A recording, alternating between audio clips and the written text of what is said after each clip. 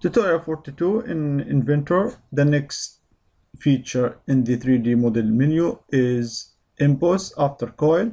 And now we're going to show you how to use this nice feature or function. Emboss is to creating some kind of pattern that's shown in the surfaces.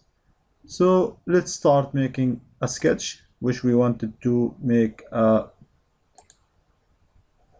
projecting 3D project from that. So let's make a reference plane.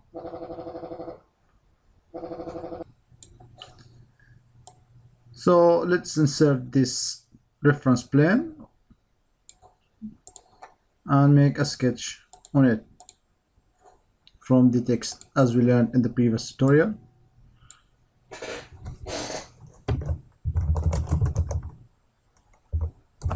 And let's center it. Okay.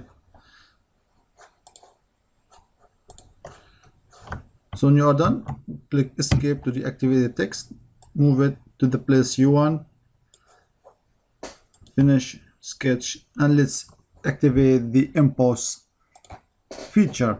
And you have three different types of the emboss either to have it shown pattern or grooved cut it inside the material and here you have the directions and the depth how you want it. So for example now let's see where is the direction.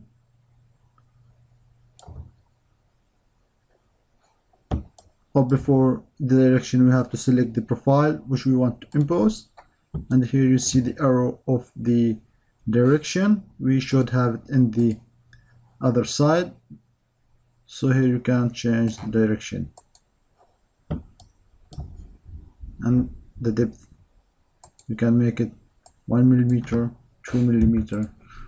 And here we have it to be in the from face okay and here you have embossed surface or sketch so let's make it on the other way to make it cut it inside the material. Just change to be this icon second one. Okay.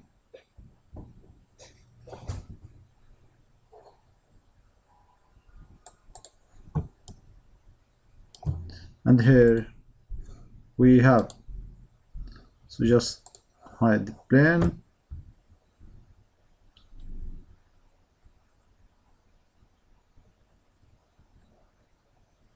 so you created this nice piece of